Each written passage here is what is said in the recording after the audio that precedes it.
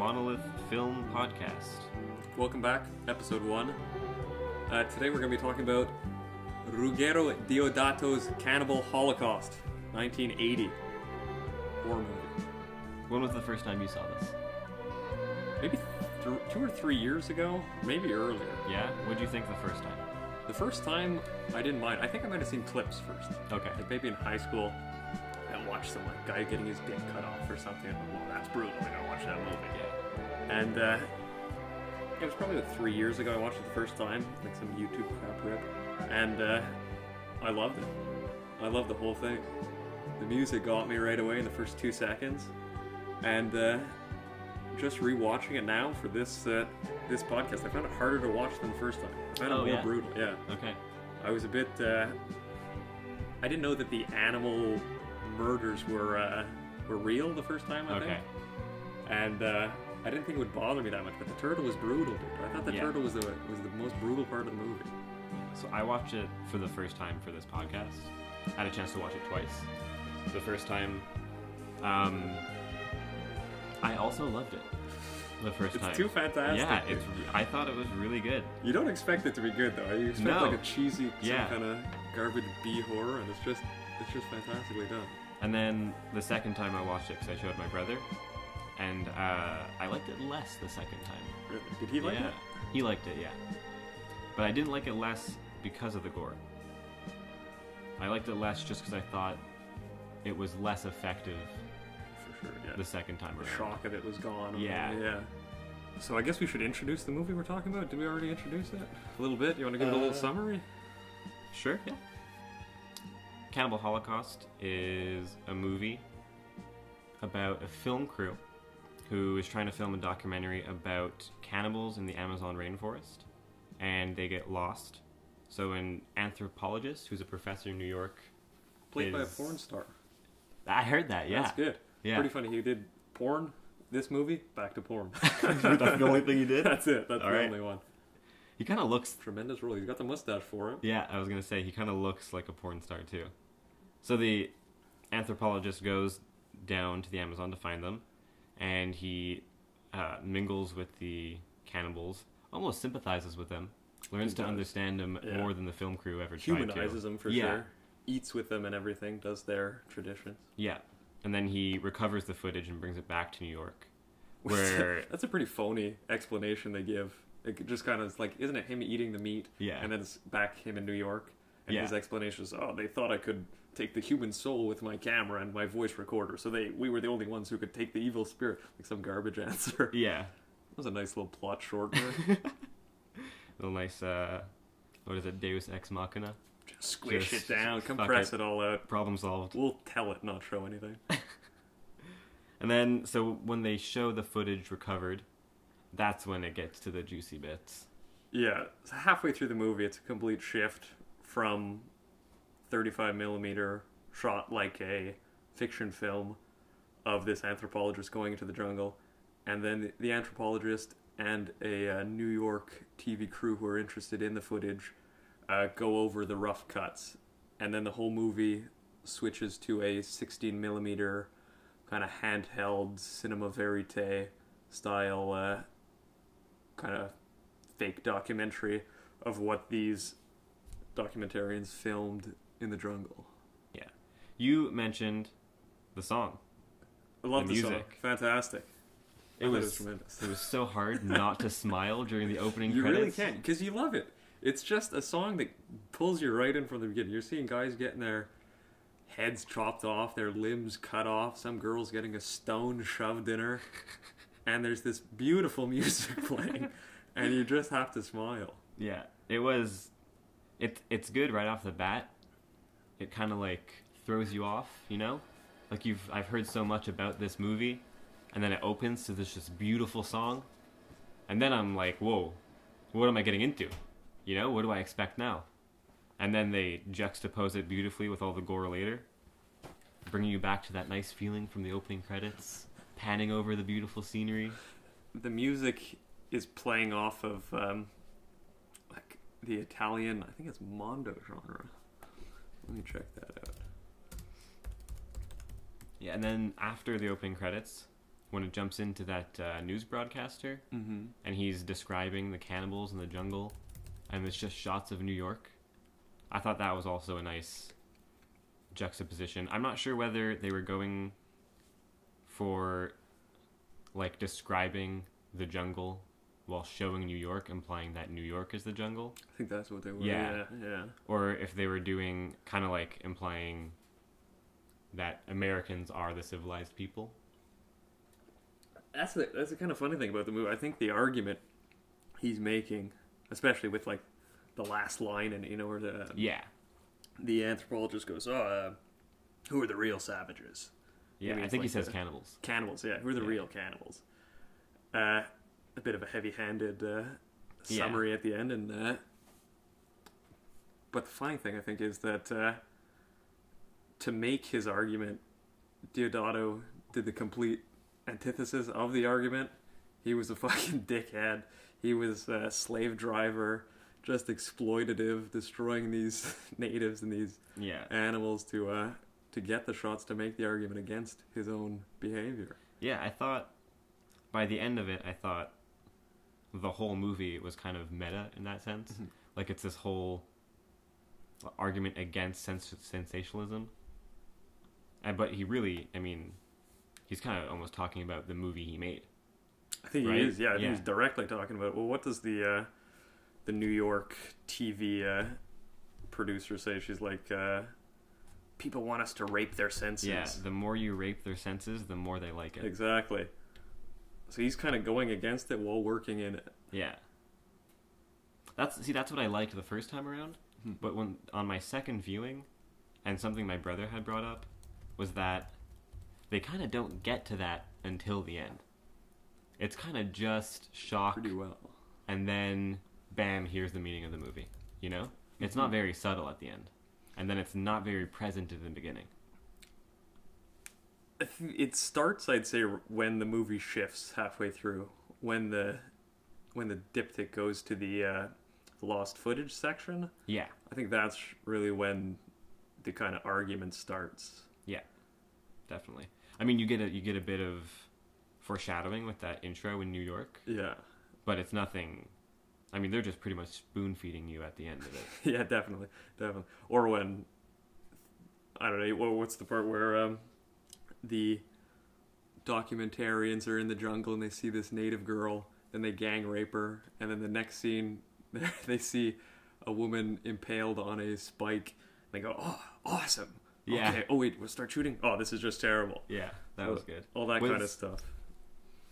Was that the same girl that they raped? No, I don't think so. Okay. I don't think so. Okay, because uh, the first time I didn't think been it was actually, either. maybe. And then again, my brother actually pointed out he thought they did that. He thought they impaled her after raping her just for the shot. Oh, maybe. Yeah, I thought that was to check that out. Yeah. Because they do make that virginity comment. Yeah, in it. exactly. So if they gang raped her before, maybe yeah. And I I, didn't even mean, think of that. it's not. It wouldn't be the first time they faked footage. That was kind of the whole point. Yeah. uh, so yeah, about the music, it is the mondo Italian genre. It's like a subgenre of kind of B garbage exploitation kind of movies, Oh, like quick okay. stuff, and they all have these kind of big romance soundtracks, these big overtures, ba ba ba da ba. And I think he was doing uh, some kind of satire on that Okay. while working in the genre of this mondo kind of gonzo exploitation. Yeah, that seems to be a recurring theme with him Mm-hmm. of criticizing the genre while working in it. This was the first found footage movie, right? Yeah, I was thinking about. I think I'm not sure found footage is the right word. I think it was kind of hijacked that phrase. Yeah. I think like found footage was its own genre of where you find the footage of someone else and you take clips from like a thousand different movies. You find all this footage from a thousand different movies and you compile it into like a, a compilation movie. Oh, okay. So I think that that used to be called found footage movies, and I think they kind of got hijacked the phrase and they turned it to like compilation movies, where it's almost pictures just zooming in and music kind of stuff. okay. Because I always thought found footage was stuff like uh, yeah, like Blair. Witch and stuff. Yeah, and Blair yeah. Witch, exactly. That's why I, I use lost footage when I talk about it. Okay. But same thing, I guess. We're talking about the same thing. Yeah. Um, I had a question about a scene in the movie. Yeah. When uh, the anthropologist professor Mhm. and the and his guide are in the village where the hut was burnt down. They're drink they're drinking just this white paste. Oh yeah, What is that? yeah, that's sick. That scene. I think that is. Uh, I'm not sure what they're drinking exactly, but I believe there's some kind of like Latin American or like ancient uh, Mesoamerican times, I guess you'd call it, but uh, like pre-Columbian times, and they would get a bunch of corn husks or corn meal and just chew it up into like paste, Yeah. spit it out and ferment it into like a beer. Okay. That's what I was kind of getting, but Yeah. I don't know what looked they were like eating. glue. It was glue, yeah. It was like paste. It looked like, yeah. but I think they were trying to do something like that. Okay. Just make some disgusting mouth drink. Yeah, that was gross. Yeah, it was pretty gross. like that was almost grosser It than was some of the gore. I'm glad there was a cut there. Yeah. that was, that was pretty gross. Um, but yeah, this uh, the documentar the documentarians whose footage is found, they uh, they find on these tapes or on this uh, film that they're just doing horrible things, exploiting the natives to get the footage to make a sensational documentary. They're trying to set two tribes against each other by uh, kind of massacring one, herding all the tribes people into a, a hut and burning it down and blaming it on the other tribe for their movie. But the tribe gets wise to them, massacres them in different ways or cuts them up in different ways, and uh, the movie ends.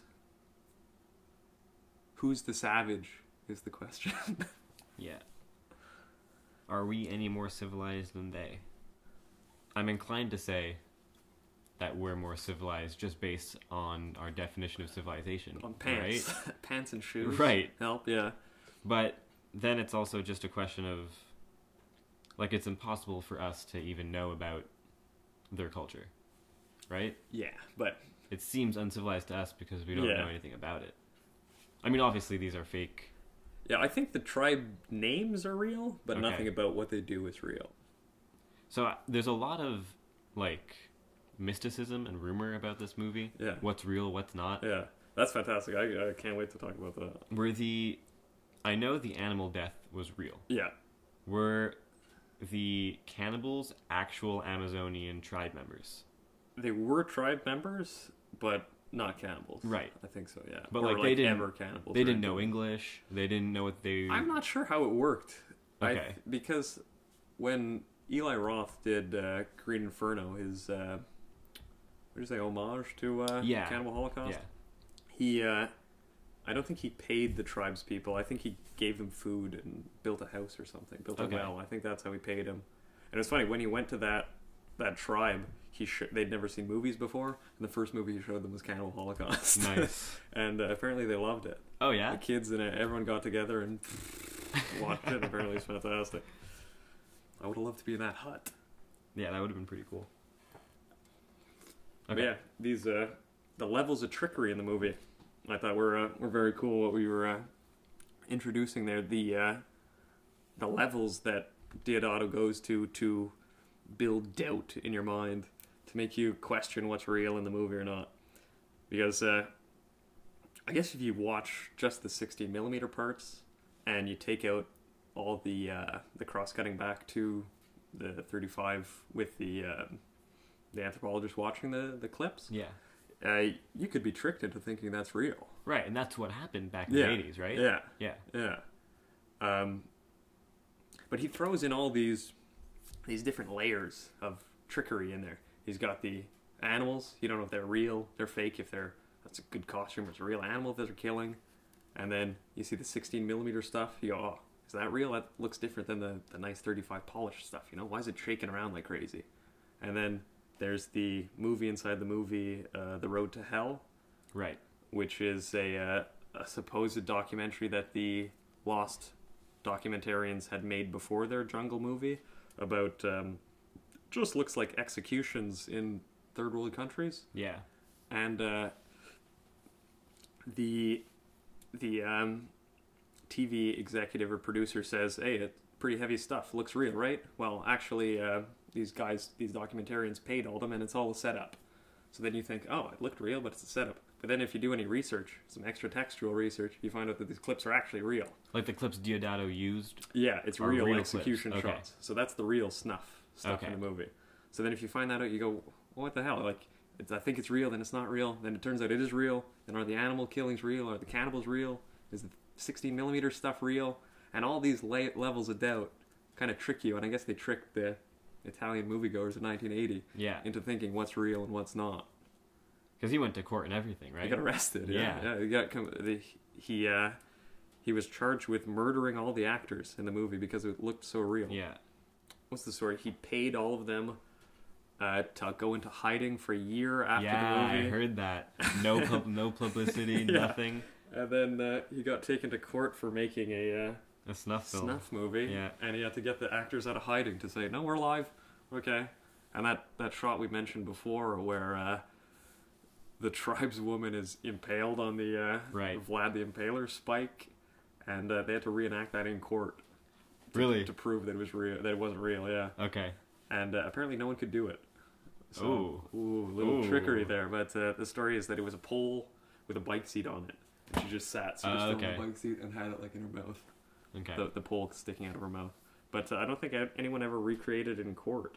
And also the the 35 millimeter stuff in the first half of the movie. Even that is filmed kind of documentary style. yeah, definitely. When they're in the jungle, for sure, it seems like you're zooming in. And it's always from Yeah. behind brush. There's always like trees in the foreground, like you're peeking in on something. Especially the way they open after the uh, scenic footage with just a straight up news report about the professor going, yeah. and then it's almost like the news report is following the professor. hmm Yeah, I found it was.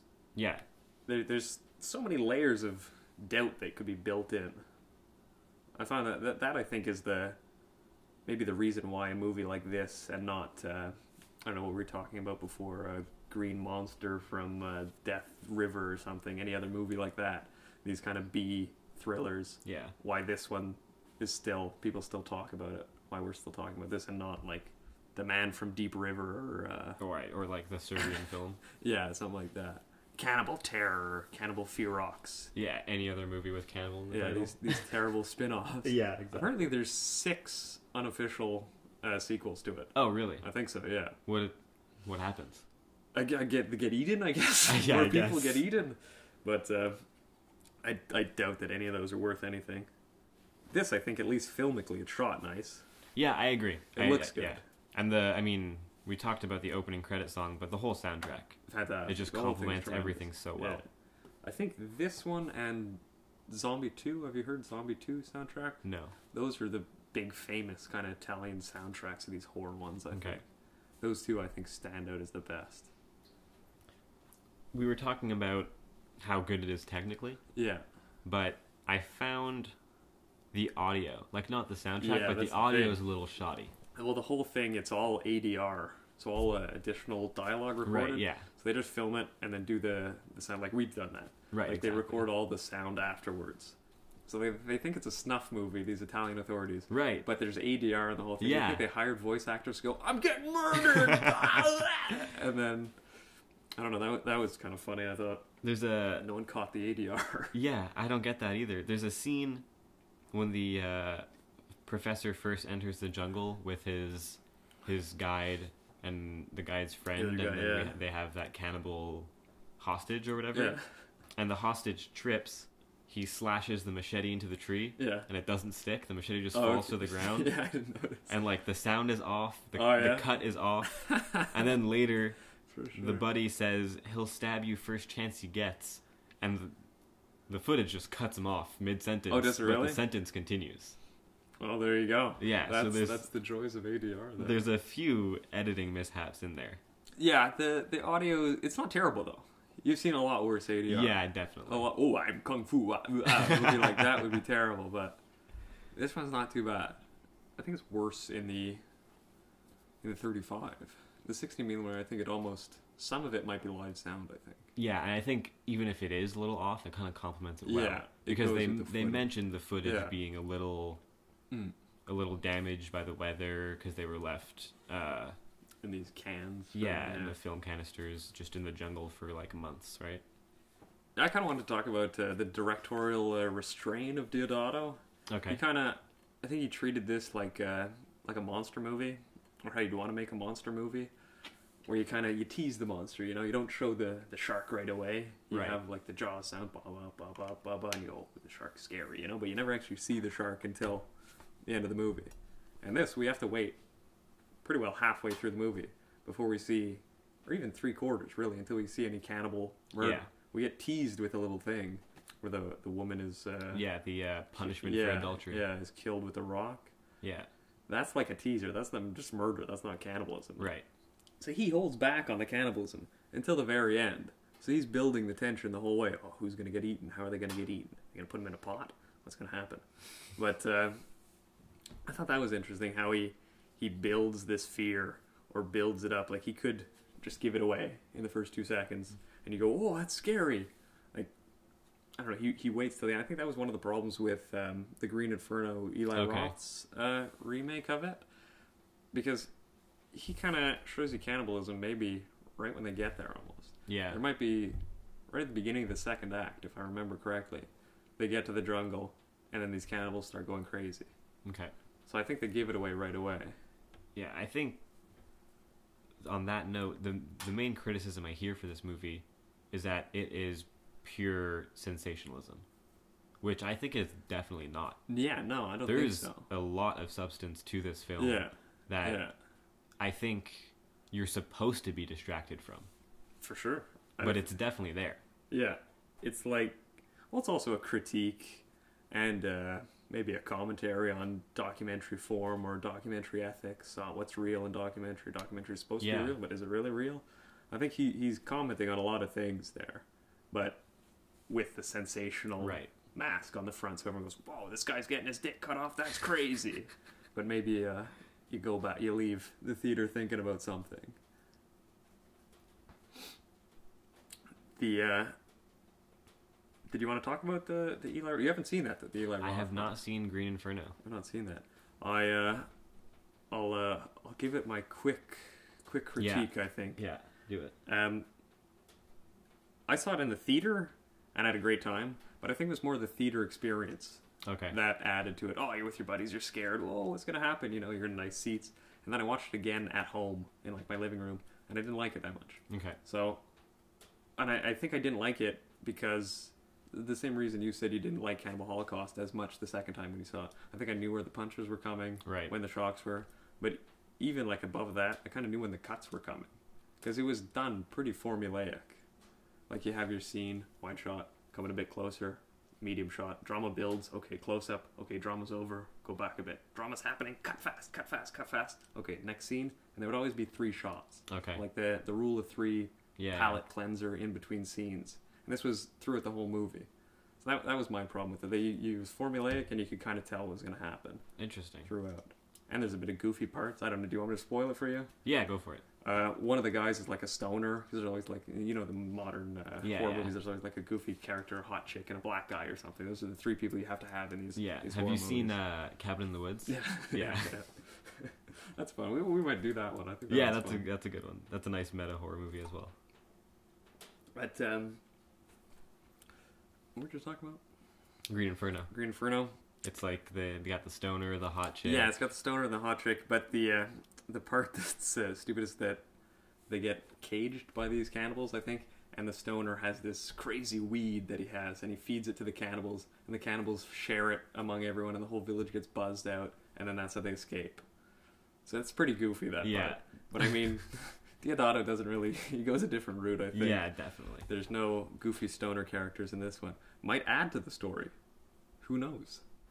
I don't think it was necessary. Uh, any kind of comic relief, and there's really no comic relief in the whole movie. No, none. Unless Unless, you you're, uh, unless you yeah. think someone getting his dick cut off is funny. Second time, maybe. First time could be a different story. I mean, it almost sounds like uh, Eli Roth was it? Yeah, Was almost doing like a cash grab, like oh, like what I- exploitation films were supposed to be. yeah, but I think him, he was. I think his girlfriend might have been the leading lady in it. Oh yeah, And I think he didn't have much money for it. I think he did want to do a proper homage. yeah, He's like, oh, I gotta get this made too, so I have to have some goofy stuff in it to get some money in. true. something Okay. like that maybe but in the theater with your buddies you, you have a, a beer before. It's a fun movie fun to see. You have some popcorn you get scared. Or not really scared but you go oh aye, they're grabbing her face. That's it. That's always the picture right? some girl Right. getting her face grabbed. I don't know what's so horrible about that. Like a nice massage. Have you gotten any of those uh, amazonian sh- head shrinker massages? They're fantastic. You were uh, talking about journalistic integrity before. Yeah. I saw or I read that right before Deodato made this movie, there were some revolutions in Italy. And all of the news footage was focused on like almost romanticizing the revolution instead of presenting it factually. Okay. Yeah. And so there's this theory, I guess, that Deodato was commenting directly on This news news broadcasting. theory. About sensationalizing. Yeah. Like not just on movies in Hollywood, but on News, news itself. reporting itself. Yeah. For sure, there's the uh, there's a critique on all that kind of all the media, mass media streams, the Yeah. TV, the uh, the journalistic integrity, the the documenter uh, documentarian integrity. Um, I think he does does it well. I think I think he does it well. very well. Yeah, definitely. Again, my only my only gripe with that is the fact that it's kind of like forced down your throat in the third act. It's a little heavy-handed. Yeah. If it would have been a little more subtle throughout, I wouldn't have minded, but it's almost absent in the first two acts. I think it might have been uh, an add-in after. Oh yeah. I think maybe because he might have done this, made this movie. I believe it took a year to make. okay. and one of the actors' parents were murdered or something. Like a bunch of terrible things happened throughout production. It took it forever to, to get finished. It was just some terrible production, horrible production, and um, like a nightmare kind of to shoot Right. it. And um, it seems almost as though he made this this crazy gore movie, kills a bunch of animals, does some crazy gory. All of the, the practical effects were fantastic. Yeah. The practical definitely. effects were great. So this crazy gory movie, all this crazy stuff happens in it. I think he needed some other layer of anything on top Right. to to make it not just a triple X rated Yeah. uh, murder movie. You needed some kind of uh, artistic uh, input into Right. it. Uh, that might be where the Okay. the critique came and so strong at the end. Yeah, it seems I, it I would believe end. that. Yeah. Yeah. On the practical effects. It almost feels like they were killing more animals backstage and using their guts and blood for the practical effects because they looked real, real. They do look very real. There's some fantastic ones. Yeah. some good ones. There are some goofy parts though. If you look in the background, you see some Oh, guys definitely. Yes. axing a bit slow. There's When, some uh, slow axing in the back. When the the girl, what was her name? Faye? Yeah, yeah. Yeah, when Faye gets killed after the cannibals are done raping her, Yeah. they bring her like they drag her body two feet Yeah. further for no reason, and then they start beating her with sticks. But it's like Yeah. the slowest stick Yeah. movement. Yeah, They're not uh, that was bad. it's not too too great. But the we've been uh, teasing this dick cut off for a while. I think it is uh, it is the best effect in the movie. Yeah, I think it. it is. I mean, apart from the actual real practical effects, Yeah, the real uh, killings there. Yeah. Seven animals, I think it was. seven. Seven animals they killed. I have a list here, IMDb list. I Okay. will I only remember three: quote it. possum, turtle, monkey. Oh, snake, tarantula. Oh, there's more. That's true. Those ones are like kind of little though. Like That's the thing. spider. Yeah, you can't. I think anyone would squish a spider, but Yeah, that okay, one. yeah, here it is. Uh, a coatimundi. That was when the uh, anthropologist and uh, the two guides were there. He's holding like a little, almost uh, squirrel-looking animal, and he sticks a stick through its head. Oh, I thought that was the possum. Oh, okay, probably that says uh, coatimundi. Oh, okay. don't I thought they call it a possum in the movie. I thought it's like I caught a possum. Oh no, does he say muskrat? Oh yeah, something like that. Yeah. Yeah. Uh, a yellow spotted river turtle. We were talking Right. about how yellow the innards were of that yellow spotted Yeah. turtle. It was interesting how yellow it was. I didn't think it would be that yellow. I was just Inside. expecting. I mean, he rips the shell clean off. I was Yeah. expecting way more blood. It was pretty clean, like a Yeah. crab almost. A strange. Yeah, I mean, he they decapitate him, and Yeah. there's like no blood. I don't think so. Yeah, There's, that like, is brutal. That any. part. Though. Yeah, that it's is definitely Crazy. rough. That is crazy. That part. And I was I was reading and listening to what other people had to say about the movie, and they said, "Oh, completely unnecessary." But it's not really unnecessary. Yeah, I didn't think All so those either. build Yeah. on the, these American guys are terrible. Exactly. So it's not not unnecessary. Well, it's uh as unnecessary as any other scene in that sequence. But like, if those scenes weren't there, Yeah, you would almost be inclined to sympathize with them when they die, for sure. which is not what you're supposed That's to the do. opposite of the point of the movie. Right. So I think I think those scenes are there to make you Hate aware. Yeah, as much as you can. I was tricked though the first time. I thought that everything was fake the first time because the practical effects Right. of the murders of the, uh, the the cannibals killing the people were so well done. Right. I thought that everything else was real too. So I, I was tricked. Yeah, I had heard prior to seeing it for my first Oh, you did? time. Yeah. Yeah, that the animal deaths were real. And I had known about the whole controversy and the Yeah. court case and everything, so I knew going in what was fake and what was real. But I didn't know that the last road to hell footage was real. Yeah, that's pretty crazy That's too. rough. That's a little brutal. Yeah. but going it's just kinda back- funny that they tell you that it's fake and then Yeah. it is real. Yeah. that's what's interesting. Get going back if I watch it a third time, which I most definitely will. It's uh, a fun seeing like midnight movie. It it's A, it's a really good midnight movie. Yeah. You pair this with something goofy and it'd be fantastic. yes, a nice have a go. double feature with Exactly. a nice raunchy comedy afterwards. it's perfect. SpongeBob movie. Tremendous. But yeah, the uh, watching that, knowing it's real, might affect me more now. Yeah, well, yeah, it's it's wacky. It it definitely uh, takes you for a loop once you start doing some research on the movie Yeah. and you read what happened and you know that monkey scene where they uh, scalp the monkey? Yeah. I think they do. I think that took two or three takes. Oh no! That's like two or three different monkeys. that's another thing. The actors, Yeah. like the, the actor it? who cut the heads, the turtle's head off, and then played with it, and like played with the camera and everything. That's all a, a real monkey skull. Imagine reading the script yeah, in the morning in makeup in the jungle. How do you like? How does your agent give you that script and you'd be like, yeah, I want to do this movie? That might be why they hired ex porn stars Yep. to do it. I think there were also brothel whores that were uh, involved in the production too. Okay. I think a lot of the background people were all hookers and Uh, stuff. okay. I thought you meant like uh, off camera. Oh, A nice little. Well, you never got know. paid. You never know with these guys. Maybe that's how they paid the tribesmen. We're gonna ship these whores from Italy. It's gonna be fantastic. You have 30 minutes though. We're shipping them for 42 hours. oh god. Well, yeah, one thing I thought was a bit goofy too when, um, yeah, it's when the anthropologist first shows up and there's the uh, stone adultery uh, Yeah. punishment. It's a white girl. It's a white woman who's getting Yeah. beat.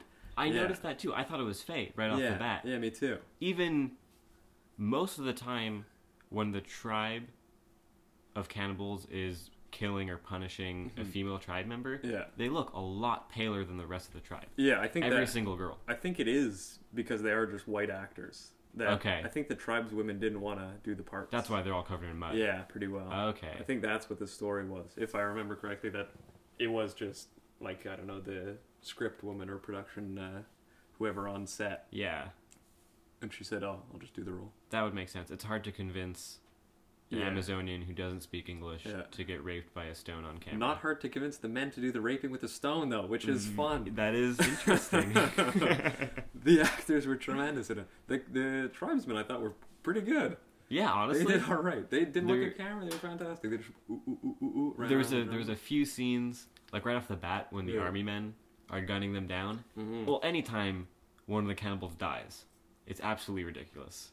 They Just a yeah, something like that. they always throw their arms up and just fall slowly to the ground.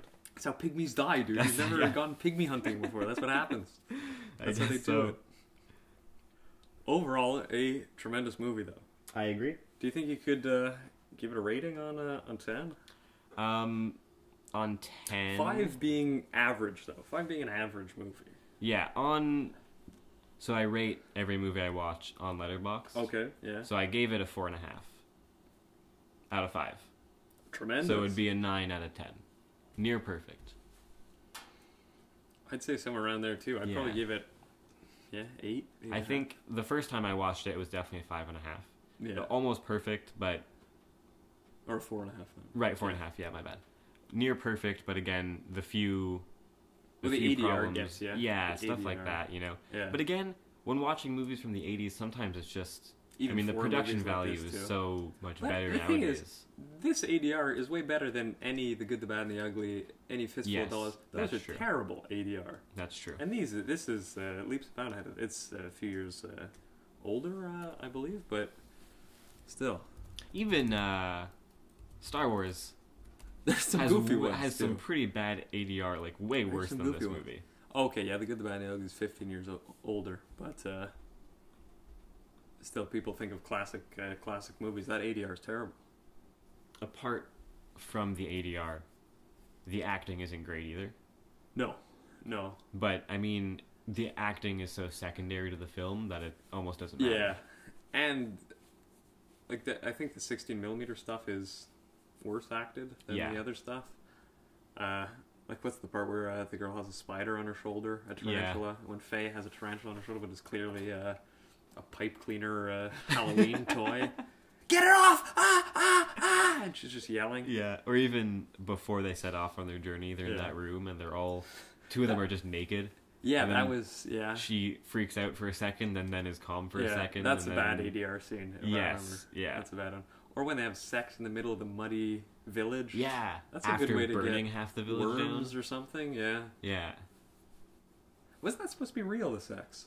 I think the sex wasn't Yeah? simulated. I think it was real. Yeah. the uh, the There's a burning rumor that it was real. the burning of the hut while the cannibals were inside Yeah. was real.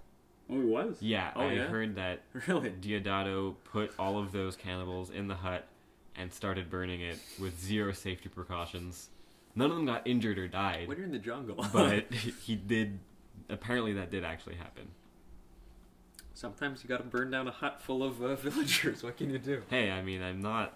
I mean, What can you do? turned out well, right? yeah. I like the show and the music over that scene too. Oh, yeah. fantastic. That's when they pipe in the opening credits music, right? Yeah, yeah. Oh, that was good. That was a bit of a funny uh, save too when the uh, anthropologist and editor are watching the found clips, and the uh, editor's like, "Oh, I threw in some stock music over which uh, to put it." It's like, "Dur, dur, dur, Yeah. dur," in the perfect spot. That was good. It was tremendous. One of my favorite lines is uh, when they're showing that footage, the raw footage, Yeah. and the editor uh, ta- is talking about the film crew, and then they show the super obscene shot, and he goes, "Real professionals." Yeah. Fuck, yeah. that got me. They were good. Real professionals. That was so funny. them naked, Yeah, jumping, exactly. fishing and stuff on the war. Oh, another real goofy, tacky scene Yeah. when they're crossing the river on the raft, and they just keep cutting to the remember that. crocodile and the Oh, anaconda, Yeah. but they never show any of it in the same Get shot. out of the water! The caiman's coming! Get oh, out of the water! God, that was that might have been the worst scene. Keep rolling, keep rolling. like this terrible voiceover. and you never see a wide shot of the river. No, It's always just close up of the crocodile, close up of the anaconda, close up of the raft. it's probably Deodato's uh, lazy river in his backyard. Put more mud in, honey. Put more mud in the water. It's gotta look good. Oh, yeah, we were talking about uh, directorial uh, restraint Mm. about not showing the monster until uh, kind of near the very end to give it a, a proper tension building and uh, climactic reveal. Yeah. Uh, I thought it might be fun because we're going to be talking about the witch uh, soon enough. I think. Yeah.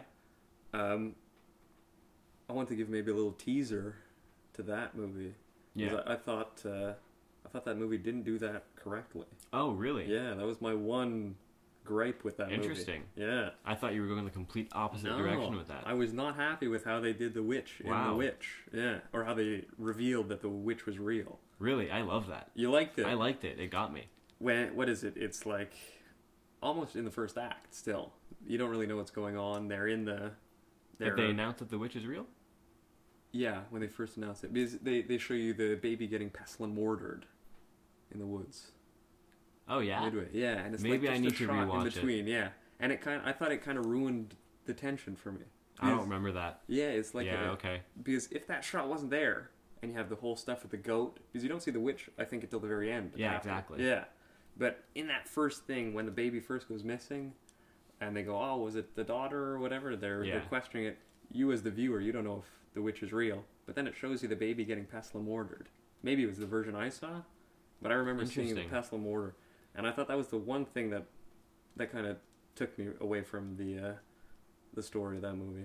It yeah, because I remember, I remember questioning whether or not the daughter was the witch for the entire movie. oh do you Yeah, I don't remember ever thinking she wasn't the witch. Really? I think it was on Netflix. I might just load up that clip just to check, but if it's right, that was the one thing I didn't I didn't like about that that movie. If- Other than that, I loved it. If you're right, and I just didn't notice, then I definitely agree with you. Because Yeah. my favorite part about that movie that they did, that I thought originally they did so well, Mm-hmm. Was that this girl gets absolutely fucked over by her family, Mm-hmm. and it turns out she was never the witch, Yeah. right? Yeah. But if you found out earlier, then yeah, that's I'm pretty sure you do. um, Friday night we uh, went out. Yeah. I had my laptop on me because I was at school all day. Okay. We were just in a bar, and I just Yeah. started playing Cannibal Holocaust, just watching it right there in the bar. There's no better spot to watch yeah, it. it was pretty funny. Needless to say, people were not so pleased. We didn't like it. No, N- not the not the right The uh, bartender and the not the right crowd. I think. yeah Speaking of uh, Netflix, yeah for any listeners who want to watch Cannibal Holocaust, I'm almost positive the entire movie is on YouTube for free. yeah it is it is It's also on Shudder. yeah Apart from that, I mean YouTube's pretty easy for everyone to access, so Yeah. go for it, right? or just Google Cannibal Holocaust. I'm sure you can find it online somewhere in every uh, any kind of exploitation movie shop or anything you get, any old VHS DVD kind of shop would definitely have uh, this movie as a staple or as an exploitation staple. Yeah, definitely. I think I was reading an argument online talking about whether or not whether this or the original Texas Chainsaw Massacre was the like apex exploitation film. That's a tough one to choose from. Yeah, Texas. the, the first Texas Chainsaw Massacre, even the second one, I like. I like Dennis Hopper. He's the, uh, I think he's the cop in the second one. I'm a, I'm a big Dennis Hopper fan, so I like the first two Texas Chainsaw Massacres. Even, not the most recent remake. I think it might have been 2009 remake something. There's Texas a Chainsaw 2003 remake directed by Marcus Nispel, and there's a Texas Chainsaw 3D back in 2013. Okay, definitely not that. Yeah. Um, there's a 20 2006. Might have been the 2006 one. That one's called Chainsaw, Chainsaw Texas Texas Chainsaw Massacre: at The Beginning. Yeah, it might have been that one. But the first two definitely I like. Yes, Quite a bit. The 74 and 86. Yeah, Yeah. Those are definitely the uh, the two cool ones. Um,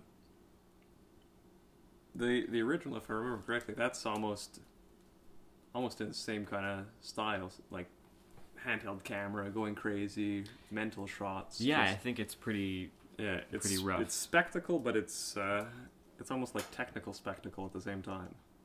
Yeah, It uh, the form of the movie shocks you. It's an interesting narrative uh, narrative structure. I thought Cannibal Holocaust having a, a diptych, having forty five minutes of one movie and then forty five minutes of another movie together in one. I thought that was an interesting, uh, interesting narrative structure to uh, to make your movie in two sections.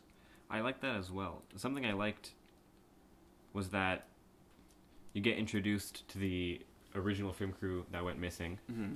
right? And you you're told to sympathize with them Yeah, because they're just this film crew who went missing. yeah. And then you experience the cannibals through the eyes of the professor, And you go. and then you end up sympathizing with them instead. Yeah, yeah. And then the movie encourages that further by showing the film crew being absolute monsters. It's almost the same thing as um, Full Metal Jacket. That's another two-parter movie, where you're kind of the first half of the movie is the um, the boot camp stuff. Okay. So you go, yeah, these American guys are good, and then kind of halfway, maybe near the end, you go, ooh, maybe these boot camp guys aren't so good. They, uh, have you seen the movie? No, I haven't. Won't spoil anything for you. That's Okay. a good one. Yeah. And then the second half of the movie is in Vietnam, and you go, ooh, maybe Oh, maybe everything's not so good here, you know. Yeah. So uh, that's kind of the same structure as this. These two part, these two part stories, or even what we're gonna watch. Uh, I don't know if we're gonna watch it, but we're talking about it. The uh, tropical malady Right. is the the same thing, a two part like that, but it's almost like a uh, like an analogy. The second the second section, I think that that's a you see that in a few movies where you'd have your A plot or your A B plot as the main narrative, and you'd have like like a analogy sections, or Yeah. kind of metaphor metaphoric Yeah, sections in the movie. You get that pretty heavy with uh, Mother by Aronofsky. Yeah, yeah, That's a huge, just. I mean, the whole movie's pretty much. An, I mean, I mean, I mean, the A plot of that movie is pretty much an analogy. Or an whole thing, allegory. Yeah, it's a few of them. That's, I think that's more. Uh, Yeah, more allegorical. Um, we're, we're going to talk about it when we talk about Herzog, but um, Heart of Glass is like that too. That's bookended by two analogies. Okay. G- Do you think like uh, a section of this could be uh, analogous? Is that a word? It's a thinly veiled metaphor, Yeah. I think. Yeah, I think so too. Throughout, yeah. The intro scene, like we were mentioned, the the description of the jungle and the Yeah. cannibals. They're also shot the Super- same way, which is Yeah. kind of cool. Yeah. Looking up at the buildings and looking up at the trees through the uh, It's true, eh? the, the there's a visual uh, tie made between the the actual Amazon forest and the concrete jungle of New York City. Even Bustle, bustle, bustle. It opens with a nice scenic overshot Mhm. of the Amazon rainforest, Yeah. and then it cuts to New York, but we're on the Empire State Building, and then they look Same down thing. on the city. Yeah, I think the analogy is there it's definitely uh, between the city and the jungle in the beginning, Yeah, and then at the end when they're kind of piping it down your throat. maybe that's what we were saying. Maybe it's more of he had the idea, but it didn't come through strong enough. People didn't get the visual cues. Yeah, And then maybe. he might needed to put the audible, "We're the bad, we're Yeah. not the cannibals" kind of part at the end. Well, I think it's also just because the professor is a genuinely good person. Yeah. So when while we're with Yeah. him, Well, these porn stars, they're known to be. Uh, while we're with him, Yeah. viewing it from his perspective, yeah. um, I don't think we're meant to believe that. He's the voice of reason. Right, exactly. Yeah. So while we're with him, it's almost natural that we wouldn't be having this meaning of the Mhm. civilized people being the actual cannibals. Yeah. A funny thing, yeah. yeah, that even kind of breaks the uh, breaks the uh, mirage of movie making is when uh, when they execute the pig in the movie. There's a, a scene where the uh, the American uh, documentarians are in the village, and they uh, they see a pig tied to a, a stake in the middle of the village, and one of the documentarians comes up, shoots the pig, or kicks it around a bit, Yeah, it kicks it squeals, a bit. shoots the pig, and then another uh, one, another documentarian comes in and says, "That's the jungle. That's what happens. This happens every day in the jungle, brutal jungle," and then runs away. Yeah. And apparently, that was supposed to be a big monologue. That he Oh, was supposed to yeah? say, but he was just so shook up by this pig getting kicked and murdered and shot like executed execution style Yeah. that he just couldn't remember his lines and he just said anything and ran away. Shit. You just said jungle five times. yeah, and then left. exactly. It's tough every day. This happens here. This stuff. I'm sure we can cut in clips of uh, silly audio. Yeah. But uh, yeah, that that's an interesting part of it too. That kind of worked out well, though. Because I thought that was. Like, he almost seemed. He was definitely. You could tell he was shook up though. You but he almost was- seemed so excited. You found a little excited. Yeah. Just I- like when they yeah. impaled that I think I might have known the fact before I saw. it. Yeah. Uh, well, resaw this time that it uh, it biased my view of it. Yeah, because I definitely interpreted his frantic monologue of the jungle as being just like overly excited about Yeah. just massacring this tribe for the sake of his footage. I'm just on uh, Google Images here looking at the uh, the cover art for Cannibal Holocaust, and it just really is tremendous. It's just supposed to be the most terrible things you can see. Like it's the cover of the movie with a woman on a spike, Yeah, naked, that one. bleeding, and then there's a warning next to it. Like you need the warning. I think the picture does it enough for you. The most controversial movie ever made is the tagline. I think that's an apt. Uh, that's an apt tagline. I think so. I can't think of very movie many movies that are more controversial. or especially the story with it, him getting arrested and everything. It's just such a funny story that happens too. Yeah, Like his effects were so good that he was arrested. I love the. uh There's a poster that looks exactly like the uh painting Saturn devouring his son. yeah, it does. That's almost exactly it. Yeah, I love that poster. That's probably That my is a favorite cool of the one. movie. Yeah. Well, if we screen it at school, we'll have to use that poster. Yeah, that's definitely. a nice one. That is the cool. Maybe we'll have the side by side. Banned in over fifty countries. I'm not Yeah. sure if that was true. I hear a different number every time. Yeah, I don't think that's true. I think it might be uh, more hype than anything. A lot of the murders of the uh, animals or the animal uh, killings, I don't. Few of them weren't necessary. The snake, you could have made a, a snake easy, a rubber snake or something, Yeah, true. and it's just one quick shot of. Yeah, Same thing for the tarantula. Some But guy walking, also- I mean, yeah, they didn't even have to kill the snake. I mean, just grab the boot and toss it. Yeah. right? They were cutting the guy's leg off anyways. It's not like he'll need the boot. Yeah, pretty well. I'm angry at this snake. If I lose my leg, it loses its life. I loved in that scene. He gets bit, and instantly he's like, "Nah, cut my leg off. Just do Yeah, it." do it. And the whole film crew, no hesitation, Okay. just sounds good. I'm pretty sure one of them asks "Are we rolling?" Does he really? I'm sure That's they funny. do. It sounds uh, sounds like they would say it. that is a crazy part. They cauterize his leg right after Yeah. that. That is a good cauterizing. It doesn't seem like that would work. The guy's leg was off. I didn't see a bone in it. I just saw like Yeah, meat true. sticking out. Especially not with a A like machete. a machete. and- Use like a, a frying pan that can oh, that's an take idea. his whole leg at once, not like a machete that you have to go over it three or four times. You see, Lee, if you were there, it would have gone over You differently. know, he wouldn't have died. it wouldn't have died. Idiot would have died. that idiot would be alive right now. Do you have a uh, favorite death, Um, or just favorite scene in general? the craziest death is well, it's probably the like the poster boy death or the poster death, Yeah. uh, the woman on the spike. That's the one everyone kind of remembers when you think of the movie. Yeah, definitely. Is the woman on the spike, but uh, hmm, the the dick cutting off one as a member of the male gender, I think that was brutal on a uh, a different level. That was a pit of the stomach kind of brutal. Yeah. But um, there's a few good. Or when they chop off the guy, the blonde guy with the mustache's head, and they uh, they quarter them and then eat them and burn them and eat them right away there. Yeah. That's a pretty cool scene. Yeah, I agree. That's pretty crazy. Okay, keep rolling, and they're hiding in the bush, and then the cannibals Yeah. run in and grab another guy, keep rolling. I, I like that scene. What about yourself? Do you have a favorite death and scene?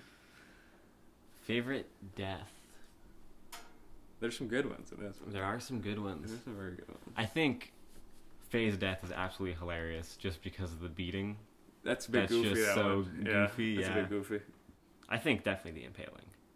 That's the classic. Yeah. That is the classic one. It's just it's one of the only deaths that you don't see the person Yeah. actually dying, Yeah. but it somehow managed to be one of the most powerful scenes. That is Yeah. shocking. That just So- that image too is a shocking. Yeah, image to see. exactly.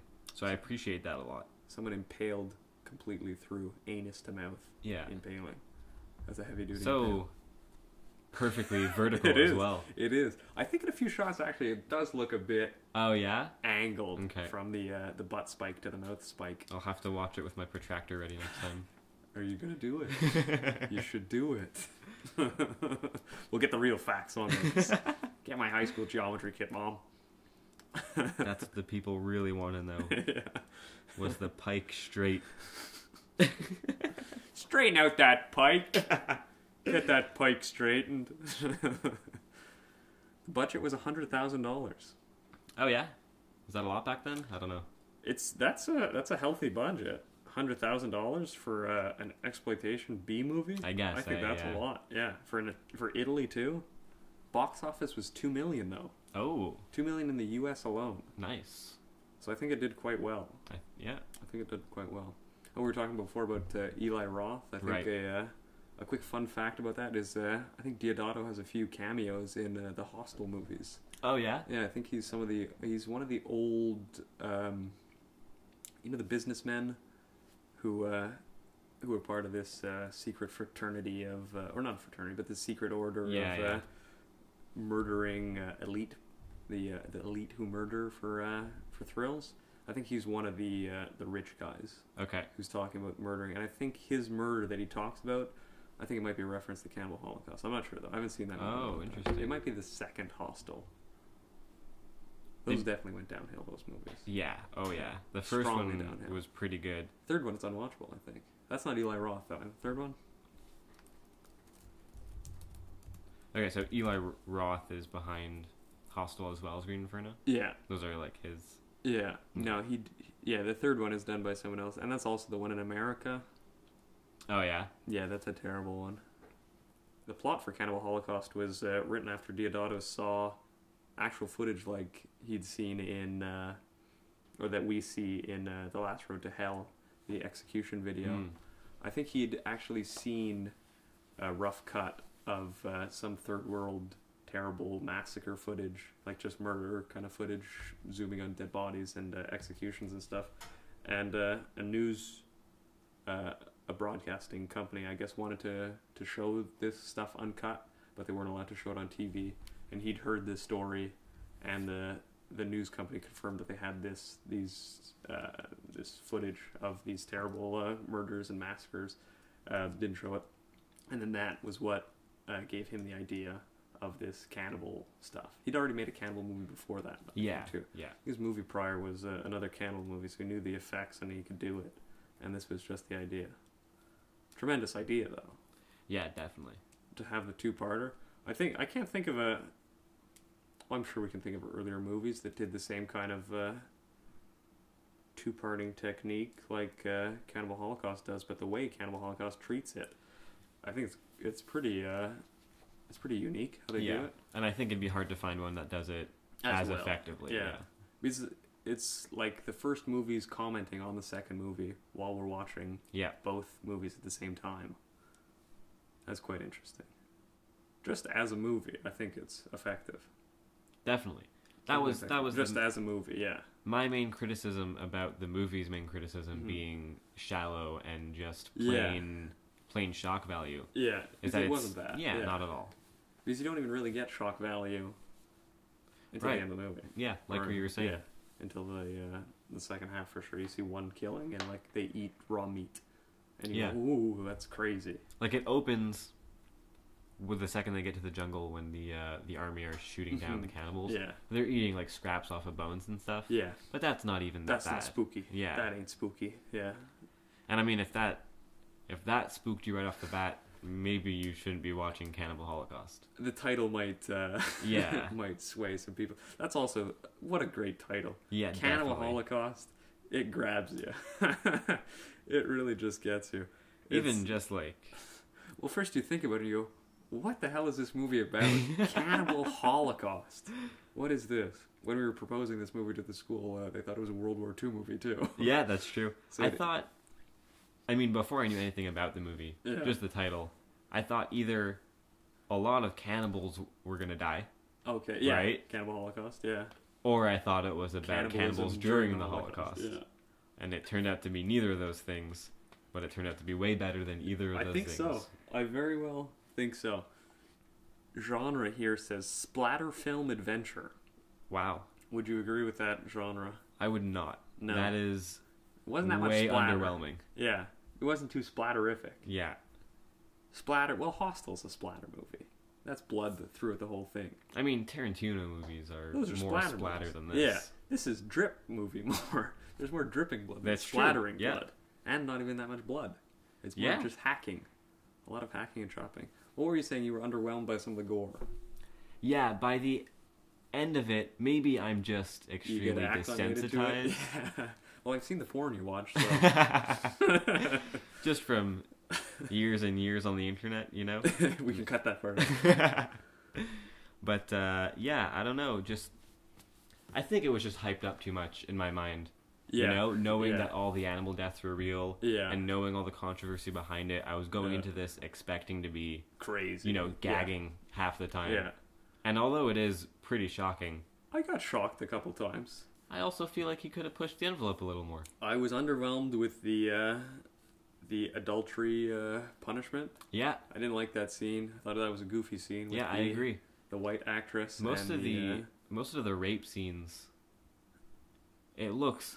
I mean, it just looks like you're lying on top of Yeah. each other. Yeah. The gang especially rape now is a bit- knowing Yeah. that they're porn stars. Yeah. Honestly, watching the rape scenes, it felt like they didn't know how to have sex. They're Yeah. like kind of sideways the whole time. Flobbing around a bit. Yeah. and like the adultery scene, Yeah. he like Yeah. such a wide range of motion for no reason. You know what I mean? Yeah. Like, They want yeah, it's a big rock, but Still, how do you get that rock so round? Is that the uh, the ceremonial rock? I think, think they so. reuse the rock. I think so. I think they dump it on that. That's the that's the beach That's the- they do it on. That's Oh, where yeah. the rock stays. Oh yeah, she's tied up or something. too, Yeah. isn't it? Yeah, there's a spike in the yeah, a spire.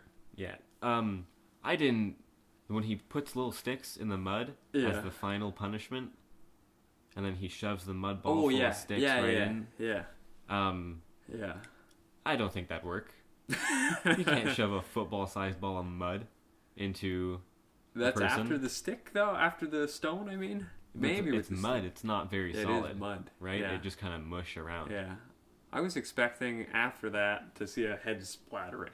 That's what I was expecting. Yes. I thought it was yeah. moving to a squish, not a Yeah. s- plunge. Not only that, but he does beat her with the stone after. Yeah, But it's so, it almost sounds floppy. yeah. It uh, it's yeah, yeah. I agree with that one. I didn't like that death Yeah, at all. I that's think- my least favorite death. I think that's what I mean when it's underwhelming. Yeah, that was underwhelming for sure. Like it- it's shocking at a lot of times, but it's not shocking when it almost needs to be. It's not horribly gruesome. Yeah. Yeah, you'd expect it to be the the most brutal film you'll ever see, but I'm sure Yeah. we, we've both seen more worse gore or, or more true. terrible gore, Yeah. and uh, yeah, I'm sure I'm sure we could imagine more horrible things. Yeah. I think if someone made a shot by shot remake of this movie Yeah, with today's practical effects, yeah, first of all, I think it'd be bad It'd be terrible. because I don't think you could ever capture No, the essence of Cannibal Holocaust as well as it did. well, it, that's the thing because it's almost real. right, exactly. What's real and what's not, it's, it's almost real. But if someone were to Yeah. make a shot by shot remake, I think there'd be a lot more head explosions. There'd be a lot more, just way more blood.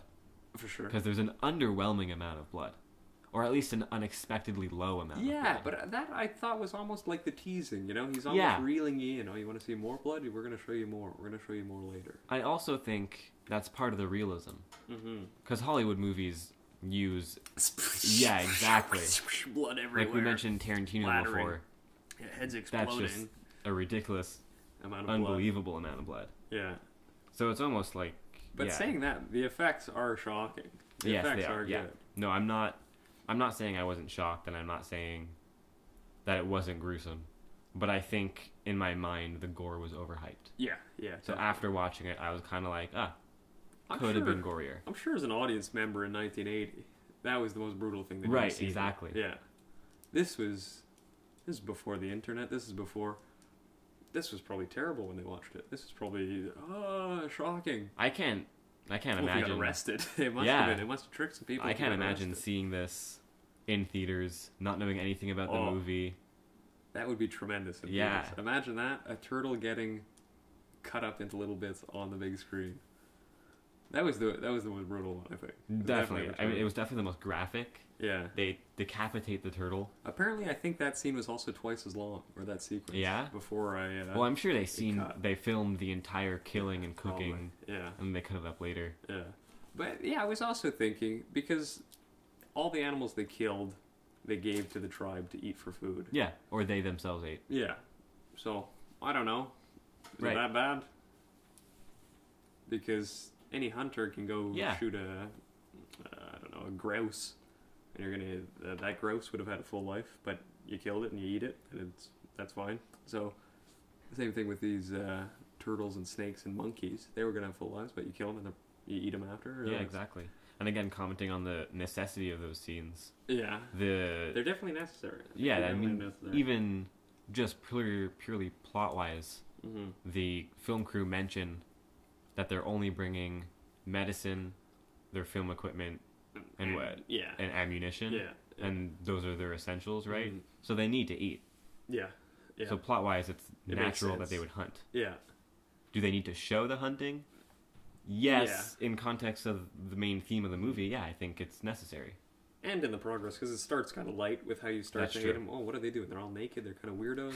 Oh, what are they doing? They're being mean to these guys. Oh, they kind of don't like each other. Then, oh, they're killing this thing, cutting that up, and then, oh, they're burning villages. They're doing that. Like, there's a proper progression Yes, in it. It's yeah. not out of uh, out of plot to have or out of uh, form to have this uh, turtle cut up halfway through. I think it goes it goes in with the uh, the building arc of their uh, their character falls. I agree. How necessary did you feel back in New York Mm. when they're reviewing the footage unedited and they have all these board meetings with the Mhm. broadcasting company and the professor is telling them no we can't i don't want anything to do with this you haven't seen the footage i've seen Yeah, your editors don't have the stomach to see Right. these things. Yeah. now let's go watch it Yeah. right i Yeah. felt like Yeah. Well, was that him? I think he was proving the point not to show the Yeah. not to show it how brutal it is. But uh, oh yeah, another layer of trickery I thought was at the very end of the movie. Um, after they watched the final uh, murder of the can- of the documentary uh, documentary crew, the uh, one of the producers or one of the TV executives says to the projectionist, "Okay, John, burn that." Yeah.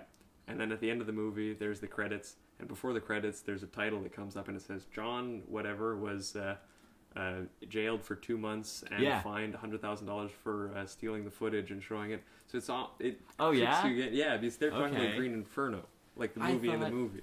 I thought that was like a post, No, like added into some later that's release the, that's about the the, actual projectionist's name in the movie. Oh. So he's adding another layer of trickery on top. Where you go? Wait, was that the projectionist that was supposed to burn the footage? And then is this how we're watching the 60 millimeter footage? Wow. Like, is it actually f- lost footage that, pe- that these people have found and cut together? That I think is the most fun part. Yeah, that's really cool. I didn't that's, catch there's so many more layers on top where he's making you doubt what's real and what you're watching isn't a fiction movie, a fiction film. It's definitely kind of a love letter to this uh, cinema verite uh, Oh, yeah. news footage kind of style. He definitely thinks that there's a uh, a truth in it, but also uh, a trickery in it too. Could that be uh, one of his messages that uh, don't believe everything you see? Yeah, I think maybe. I think, right, the whole part about this film crew creating Mm-hmm. something to film instead Yeah. of just filming things is a big part of it. It reminded me a lot of um, what's that movie with Jake Gyllenhaal? Night uh, crawler. Yeah, Nightcrawler. Yeah. It reminded me a lot of that. Yeah, Completely different movie, but same kind but of idea. very yeah. similar message about popular media. Yeah, I'm happy. I watched it. I have it downloaded on my computer, yeah. but I watched it on uh, Shudder Okay. because they have this nice intro where it's like a disclaimer, not about what you're about to see. Well, kind of, but it's more a disclaimer about Shudder and their commitment to show the original, unedited, Oh, uncensored, nice. pure, the way it was intended to be seen, kind of thing. Yeah, And I really appreciated that. might be different from the YouTube version then. Right? Yeah, Might exactly. be better. Yeah. I checked the runtimes; they're pretty similar, Okay. but the the really bad scenes aren't that long, anyways. No. So the runtime yeah. would be similar. Yeah, because I, I think the most recent re uh, re release of it is like 15 seconds short or something. Okay. Like, what do you need 15 Yeah. seconds for? What's 15 seconds going to change? But um, I watched the uh, the YouTube rip for this podcast, and uh, everything seemed to be there. Yeah. eh? Yeah, in in Yeah. full. I, I didn't. I don't remember missing anything watching it on YouTube. Okay. So to uh, to wrap up this podcast on Deodato's 1998 Cannibal Holocaust, would you like to uh, give uh, your final words and maybe a final rating on the uh, on the film? A would recommend, would not recommend? Definitely recommend. Definitely. Definitely recommend. I uh, if I had to assign a rating to it, about nine out of ten, near perfect. I think overall the claims about the pure shock value are just Unfounded. easily falsifiable Yeah. by just the By I mean, watching the movie. Yeah, exactly. I mean, th- even the first scene, you get hints of a meaning, a Mm. deeper meaning than just shock value. Yeah. And later in the third act, it's pretty Clear. explicit Yeah. in its meaning.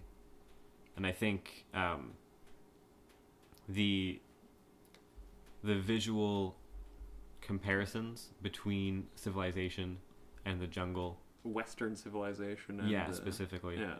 and the whole juxtaposition between the two complements the gore enough for it to be valid. I agree completely. I would uh, I would agree with your rating. I'd say maybe uh, I like it a lot, but I don't know if I'm getting uh, if my rating is getting skewed from the history of the film or Right. the uh, the clout around the film. But I'd give it around uh, eight and a half, Okay. probably around there. Still fantastic to watch. Would definitely recommend. What would you say the audience is for a film like this? Who would you recommend it to? Personally, everyone I know, Yeah. but for the people I don't know who may be listening to this, um, you gotta. It's a hard movie to watch for a lot of people. yeah, It's important, I think, to know going into the movie that the animal deaths are real. mm-hmm. So if that is a problem for you, probably don't watch it.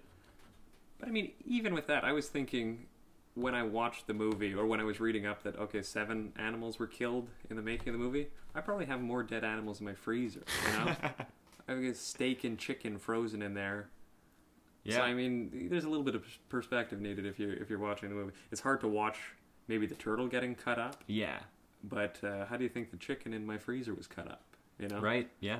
not in the jungle, but in the same fashion, I'd imagine. And I mean, on that note, I think it's im- it's important for some people to see a movie like this Mhm. where they show that kind of stuff explicitly because it's kind of throwing those exact, you know, social commentaries right in your face, and it's kind of forcing you to make those conclusions yourself. You- You're faced with uh, with seeing what uh, modernity hides from you, or what civilization Right. hides from you. Yeah. So uh, they they'd be more authentic, I guess. The the jungle folk, they're more uh, in the front lines. They're the first person. They're uh, they're in direct contact with what their actions uh, do. They see the killing, they eat the killing. We just show to uh, a grocery store, you know. Right. We're uh, we're secondary in the act, and they're right there. So And I think that's that's the argument of the movie, Right, guess, exactly. there, that the jungle folk are more authentic or more, uh, more uh, say grounded or uh, they have Yeah. more perspective than the uh, the modern folk who just want to make some cash money on some crazy footage.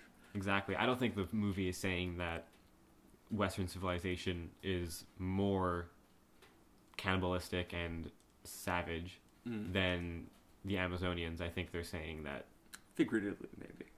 Figuratively more savage, More? maybe. Ah, I, well, I was exploitative. More yeah, definitely more exploitative. Yeah, that's a good point. Mm.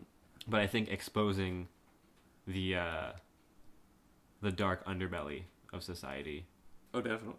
Was a, is a big part of the movie that a lot of people kind of shy away from Yeah. because of the shocking footage. It's- a direct commentary. You- Yeah, you, can't get away from it being uh, an explicit commentary or critique on uh, civilization as uh, they knew it in 1980,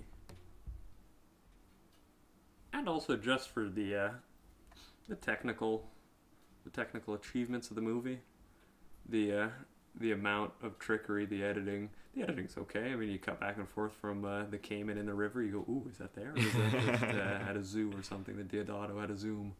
Um, Yeah.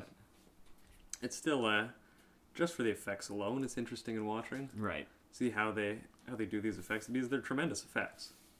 Yeah, the, definitely. The practical effects of the uh, the people getting slaughtered and the people getting uh, cannibalized, they are uh, they are tremendous effects.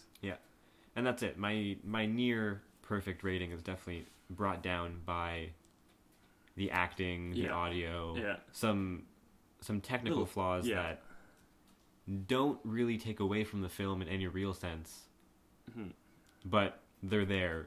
So It's more like people worried about realism or people worried about uh, exactitude in the in the film. It's not. Yeah. it's not about the, the realism of the film. It's more uh, the the movie going experience. Something Yeah. like this. It's not a popcorn movie, but it's a uh, maybe a popcorn and uh, hot chili movie or something. There's a little, there's a little spice on the end of these this movie. Rock and roll. rock and roll. All right. Well, next week Yeah, we'll be doing John uh, Cassavetes' The Killing of a Chinese Bookie. yes, 1976. So even older than this one. Uh, the Killing of a Chinese Bookie is uh, uh, Cassavetes' passion project. Cassavetes being the uh, the actor. Uh, you seen him in Rosemary's Baby? Yep. He's the uh, male lead in Rosemary's Baby. Um, this is his film. He's got all his buddies in it. He's got uh, Ben Gazzara, who's fantastic in it. Uh, Seymour Cassel. Tough name, but I'm sure people will know him if they see his face. Nice mustache on the guy. A fantastic filmic mustache. Um, this it's the story of a uh, like a cabaret club owner who gets in with the uh, the mob or some uh, gangster characters. He owes them some money, and it's the story of him trying to pay off this money and uh, his fall from grace. I'm looking forward to that one. That, We- that, that's a favorite of mine. Now, did Cassavetes uh, act in this, or is he purely directing? Purely directing and writing. Okay, interesting. I believe he wrote and directed it, and I think it took years to do too. Uh, he, the way he worked was he would uh, act in a few movies with the money he got from those few movies. He'd fund his own movies. So this is a, a pure independent. 1976. This would probably be uh, an original independent, one of the uh, forerunners of the uh, anti kind of studio, anti-produced, overproduced movie. It's almost a, a home movie with actors. Very cool. tremendous movie. I, I can't wait to watch that. We're gonna watch the uh, the original cut. The uh, I believe it's two hours and forty five minutes, something like that.